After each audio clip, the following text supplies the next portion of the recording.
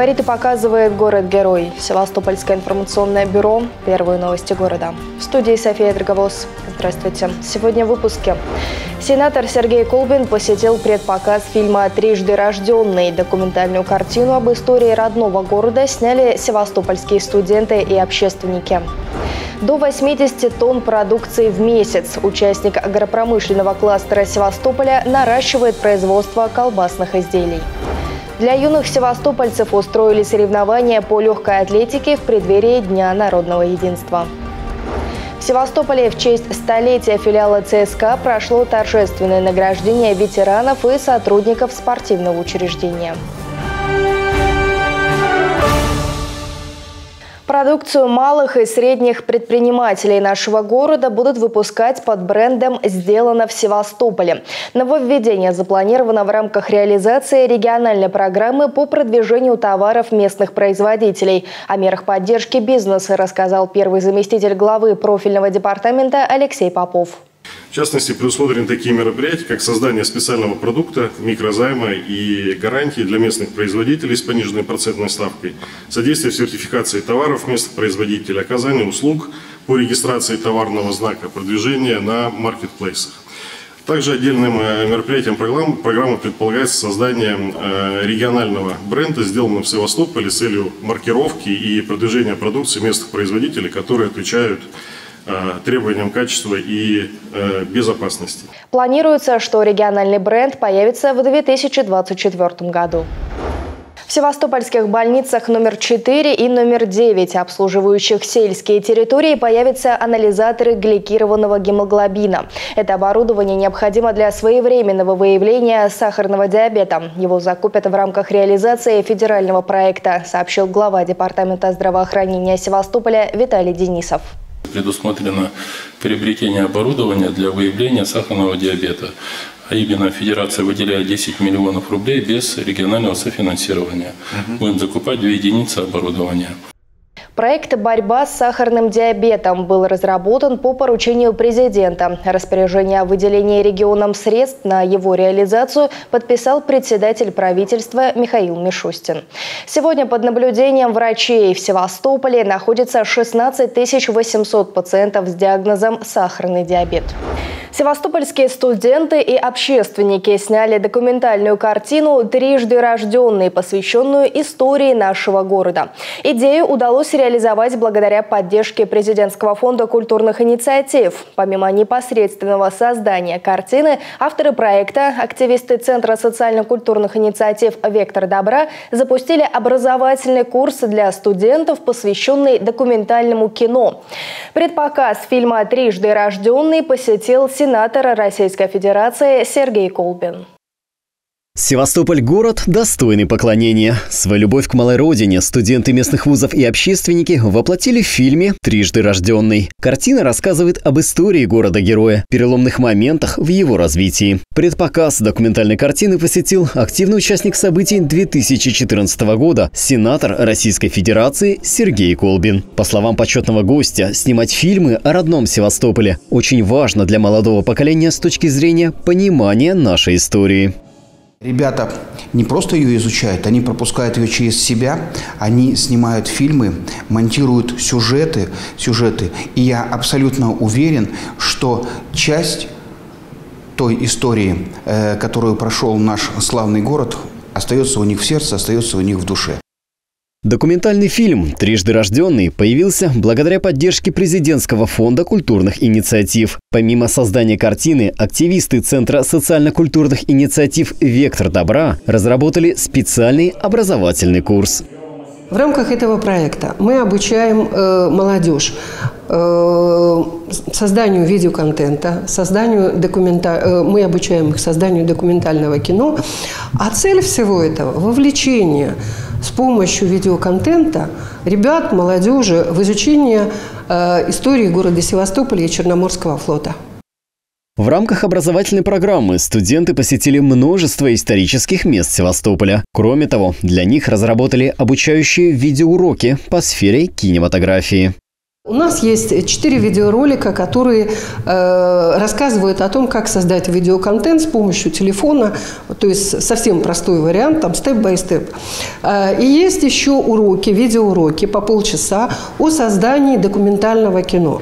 То есть это как бы расширение их кругозора, такой вот ликбез по документальному кино э, для того, чтобы ребята как бы э, у них воспитывался в том числе и вкус. Проекте принимает участие 20 молодых людей. Результатом их работы станут пятиминутные видеосюжеты об истории родного города. Кто-то работает в команде, кто-то пробует единолично выпустить свой первый документальный фильм. Нам а, были направлены 8 видеороликов, видеоуроков о том, как снимать документальные фильмы и как снимать их именно на телефон, потому что не у всех студентов есть возможность снимать на профессиональные камеры. На самом деле, на удивление, видеоуроки оказались довольно-таки информативными и э, понятными. То есть, когда нам говорили, мы отправим 8 видеоуроков. Я думал, блин, 8 видеоуроков.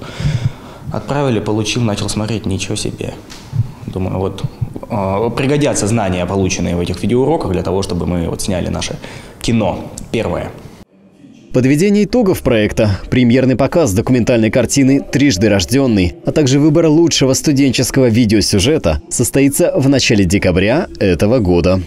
Николай Кузнецов, Дмитрий Лелека, Севинформбюро. Двухтомная монография, посвященная истории градостроительства и архитектуры Севастополя, будет издана в 2024 году. На встрече с авторским коллективом проекта в Севастопольском государственном университете сообщили, что текстовая часть масштабного научного труда уже готова и скоро будет передана в издательство. Работа включает рассказ не только об известных архитектурных образцах и тенденциях, но и о нереализованных проектах, а также, возможно, станет копилкой идей для будущих градостроителей. Наша задача была, и мы ее реализовали, поднять все генеральные планы подготовленные в нашем городе за всю историю его существования, начиная с античных времен и заканчивая генпланом 2005 года. Очень богатый иллюстративный ряд, очень богатый. Очень много планов и схем. А, то есть, соответственно, читатель сможет увидеть это все, не просто прочитать. Такого опыта еще, конечно, не было, потому что многие из этих схем находились в спецхране. Кроме Института развития города, к проекту подключились Севастопольский архив, сотрудники Музея обороны Севастополя и Херсонеса Таврического, а также специалисты из Москвы. Мы увидели преемственность, глубокую преемственность э, истории планирования именно города. Это очень сложная диалектика взаимоотношений между гражданскими властями города, которые планировали город удобный для населения, которая постоянно увеличилась, и военно-стратегическими задачами, которые стояли перед городом, и они далеко не всегда совпадали. Авторы монографии видят компромисс в отказе от крайностей и позиционирования Севастополя как города, сочетающего несколько приоритетных сфер развития. Тем более, что многие новаторские идеи, как оказалось, имеют исторические предпосылки. Хрустальный. Сейчас мы развиваем его, и можно сказать, вот как бы эта идея вдруг сейчас появилась. Нет, не сейчас. Она появилась полвека назад. Соответственно, «Хрустальный» должен был превратиться э, в тоже в своего рода арт-кластер, только того времени. Ну, не арт, но вообще такой культурный кластер. Там должен был быть создан большой стадион и очень большой кинотеатр. Выхода печатного издания монографии «История градостроительного развития и архитектуры Севастополя» ждут весной 2024 года. В мае этого года севастопольский производитель колбасных изделий компания «Влави» отметила 25-летие своей деятельности. На сегодняшний день предприятие предлагает широкую линейку продукции, начиная от классических видов колбасы до популярных у населения сарделек, сосисок и охотничьих колбасок. Ровно год назад производитель стал участником агропромышленного кластера Севастополя. В колбасном цеху предприятия побывала съемочная группа нашего телеканала bola. Готовить колбасы из свинины или говядины – старая славянская традиция. Известно, что первый колбасный завод в России основан в 1709 году по указу Петра Великого. Севастопольский производитель Влави на протяжении четверти века следует традициям отрасли. Свой колбасный цех компания открыла в 1998 году и на сегодняшний день производит от 60 до 80 тонн продукции в месяц. Перед тем, как попасть на прилавок, каждый экземпляр проводит от двух недель до месяца находится в специальной камере. Это камера созревания для сыровяленых колбас, ну, которую мы приготавливаем, климатическая камера, так сказать, которой мы приготавливаем вот те колбасы, которые вы видите. Здесь 15 градусов, влажность 72%. Согласно данным Федеральной налоговой службы и Росстата, в последние годы производитель демонстрирует уверенный рост выручки и прибыли. Штат предприятия составляет полсотни человек. У компании есть два фирменных магазина. Сотрудники гордятся своим продуктом, в том числе и потому, что для производства колбасы используется отечественное сырье. И по сырью замещения по большому счету никогда не было. Ну, когда-то, может, там возили свинину еще там э, с Мексики. Сейчас нет, сейчас э, все мясо это наше внутреннее. Но вот единственное специи, специи могут быть германскими. В ноябре прошлого года производитель стал участником агропромышленного кластера Севастополя. Это позволило компании бесплатно воспользоваться поддержкой, предоставляемой государством. В рамках кластера мы оказываем государственную поддержку на различных направлениях. Мы можем а, сертифицировать товары и услуги, оформить товарный знак. В частности, этой компании было осуществлена поддержка в рамках продвижения, продвижения товаров, которые производят наши производителей. Мы будем продолжать это делать для того, чтобы рекламировать и продвигать эту продукцию не только на рынках э, Крыма, но и на рынках Российской Федерации. Как рассказала директор Севастопольского центра «Мой бизнес» Наталья Борисова, в настоящее время в агропромышленный кластер нашего региона входит 42 компании. В этом году участники кластера бесплатно воспользовались услугами Центра по продвижению предпринимательской деятельности почти на 3 миллиона рублей. Николай Кузнецов, Анатолий Паньков, Севинформбюро.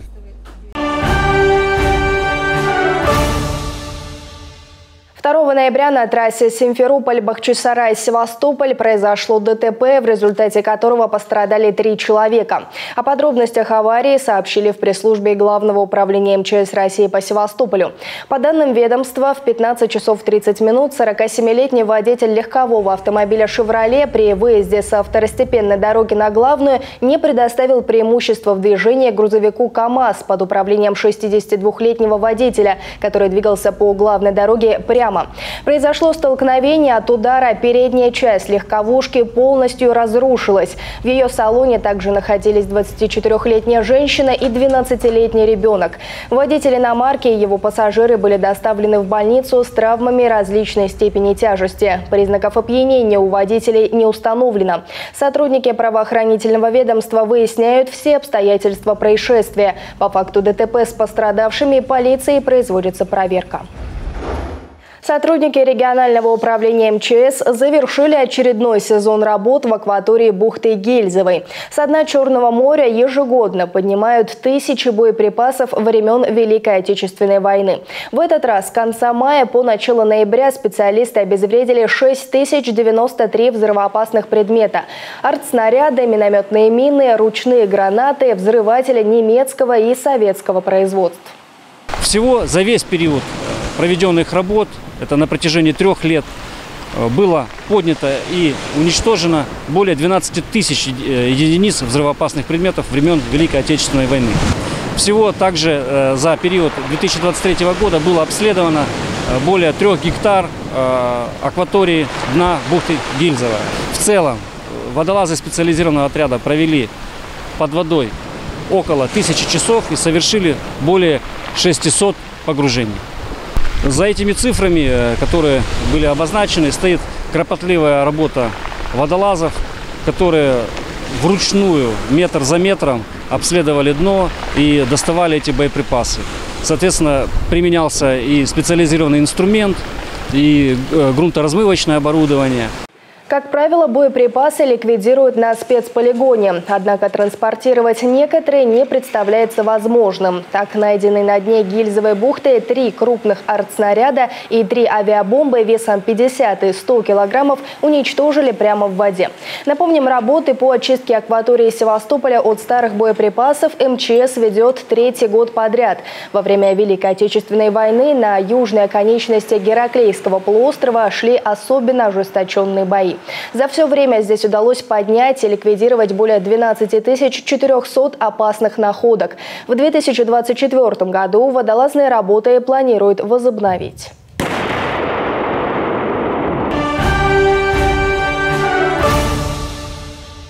Севастопольский «Черноморец» победил в перенесенном матче 18-го тура премьер-лиги Крымского футбольного союза и сохранил шансы на бронзовые медали. 1 ноября в гости к флотской команде пожаловал один из прямых конкурентов – Алустон ЮБК. Исход встречи решил единственный гол, забитый под занавес первого тайма. Его соорудили два брата. Сейран Гафаров прострелил, а Арсен точно пробил в ближнюю девятку. Тяжелая игра. У нас стоят впереди важные задачи. Осталось две игры. И на сегодня свой план мы выполнили, мы выиграли. Хочу поздравить всех пацанов. Все били, все старались. Все молодцы. Первый тайм очень понравился. Полный контроль. Достаточно много было голевых моментов. Э, во втором тайме э, немножко подстроились под игру Алстона. Э, сбились немножко на нее. Как бы но опять же, хотелось бы что сказать, что мы сегодня выиграли, а, гонка вся впереди. Эту победу омрачила красная карточка, которую незадолго до конца встречи получил защитник черноморца Никита Попов. Теперь он пропустит следующий матч, который 5 ноября севастопольцы вновь проведут с Алустоном ЮБК, но уже на выезде. 3 ноября на территории спортивно-оздоровительного комплекса имени 200-летия Севастополя состоялись соревнования по легкой атлетике. Встречу провели в преддверии Дня народного единства. Участие в состязаниях приняли более 100 спортсменов в возрасте от 9 до 16 лет. По регламенту соревнования проходили в формате двоеборья – дисциплины бег и прыжки. Спортсмены вышли на мокрые дорожки. Несколькими часами ранее в Севастополе прошел дождь, и покрытие не успело обсохнуть. Но самим атлетам лужи, кажется, никак не помешали. Мне это не мешает. Нормальная погода, не скользко. Ну, не очень мешает. Если быстро ноги перебивать, то не замечаешь. Поскольку мы в шиповках, это не особо мешает, так как сцепление хорошее из-за шипов. В успешном забеге немаловажную роль играет старт. Кто-то из участников для толчка использует колодки, другим же они не нужны. Это прибор называется колодки. Ну, это с низкого старта. Я ну, я плохо умею с них стартовать, поэтому стою лучше. Ну, скорее с, с, с колодок, потому что ну, это дает как как некий толчок. Ну, правильнее, конечно, с колодок, потому что легче оттолкнуться. А с высокого старта, ну, неопытные только.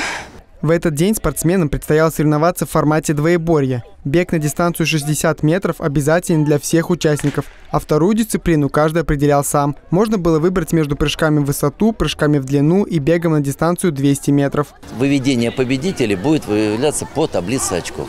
То есть все двоеборья, они равны, и побеждает не тот, кто отдельно в каком-то двоеборье, а кто набрал максимальную сумму очков по таблице. У нас 8 возрастных 8. категорий. Мы проводим обычно возрастные категории, два возраста в одно, соревнуются вместе, а у нас мы проводим отдельно в каждом возрасте, ну, чтобы популяризировать наш вид, и больше детей было награждено в данном празднике. В соревнованиях по легкой атлетике накануне Дня народного единства приняли участие 115 спортсменов. Королева спорта, она одна из самых... Мы, наверное, только футбол можем проигрывать количеством. А больше мы вряд ли какому виду спорта, потому что мы самый медалееемкий вид спорта вообще. Э, на Олимпийских играх 45 олимпийских комплектов разыгрывается в легкой атлетике. Нигде такого нет. Главный судья соревнований выразил надежду, что состязания по легкой атлетике в преддверии Дня народного единства станут ежегодными, и с каждым разом массовость участия в них будет только расти. Антон Шлячков, Дмитрий Лилека, Севинформбюро. Торжественное награждение ветеранов и сотрудников филиала ЦСКА в честь столетия образования клуба прошло в Севастополе. В нашем городе филиал Центрального спортивного клуба армии – правоприемник 44-го спортивного клуба Черноморского флота, воспитавшего чемпионов по водным видам спорта и тяжелой атлетики. Сегодня на площадках клуба занимаются военнослужащие спортивной роты и воспитанники спортивной школы ЦСКА. Председатель Совета ветеранов спорта ЦСКА в Севастополе Олег Терсков впервые пришел в клуб более полувека назад, еще ребенком, на занятия в бассейн. С тех пор с ЦСКА он не расставался, освоил бокс и много лет в качестве тренера занимался физической подготовкой военнослужащих Черноморского флота. Самая главная задача вообще спортивных, будем говорить, заведений э, Министерства обороны – это обеспечение физической готовности военнослужащих выполнения боевой задачи. У нас были здесь и виды спорта, которые непосредственно были связаны с военно-морским флотом. Это подводное плавание, морское многоборье, парусный вид спорта. Это самое главное. Поэтому на это все замыкается. В систему ЦСКА Севастопольский клуб вошел в 2014 году. Сегодня плаванием и парусным спортом здесь занимаются более 200 юных спортсменов, готовых представлять город-герой на всероссийских и международных соревнованиях. Сейчас, как никогда, спорт в нашей стране очень важен, поэтому ЦСКА поддерживает всячески и подрастающее поколение пополняет копилку чемпионов. Уже за это время у нас э, три мастера спорта, у нас уже больше 10 кандидатов мастера спорта по парусному спорту и по плаванию. Плюс у нас есть спортивный центр в городе Геленджике, где у нас дети достигают своих результатов мастера спорта и КМС, художественной гимнастики, спортивном ориентировании. То есть мы тоже за эти короткое время показываем свою работу и свои результаты. Еще одна инициатива Севастопольского филиала ЦСКА в год столетия клуба – сбор гуманитарной помощи для мирных жителей Херсонской области. Пункты сбора школьных принадлежностей, книг и других вещей, необходимых детям, работают на стадионе «Металлист» и в основном здании на площади Нахимова. Полина Галушка, Дмитрий Лелека, Севинформбюро. И в завершение выпуска о погоде. По информации Севастопольского центра по гидрометеорологии и мониторингу окружающей среды, в субботу 4 ноября в городе будет переменная облачность без осадков. Ветер юго-восточный 5-10 метров в секунду. Температура воздуха 23-25 градусов тепла. А за минувшие сутки в Севастополе на свет появились 14 детей, 8 мальчиков и 6 девочек. А на сегодня это все. Телефон редакции 59 2060, а также мобильный плюс 7 7 978 931 31. Уточнить информацию или оставить свою вы можете на нашем сайте ntsdefistv.com. Ждите новостей и всего вам самого доброго.